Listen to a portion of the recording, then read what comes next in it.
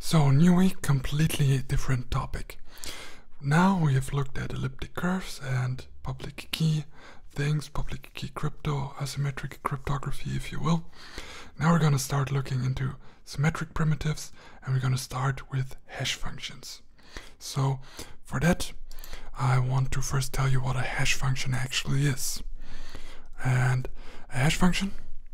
Well, to hash, you can also translate with chop something or to make a mess out of something. And that's what hash functions do. Hash functions take arbitrary input and scramble it around real good, if you will. So,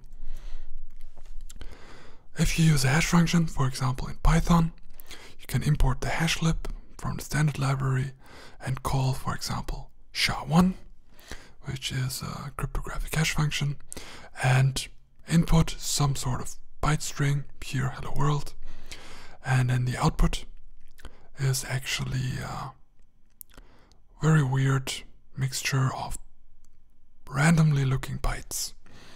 So that's what the hash, hash function does. just takes an input and outputs something completely different. And now you can also use the hash function in Python, which is built in, which returns a number. So hash functions are used in a lot of places, but we're only interested in cryptographic hash functions. Now, this built-in hash function in Python is not a cryptographic hash. It's used for something completely else.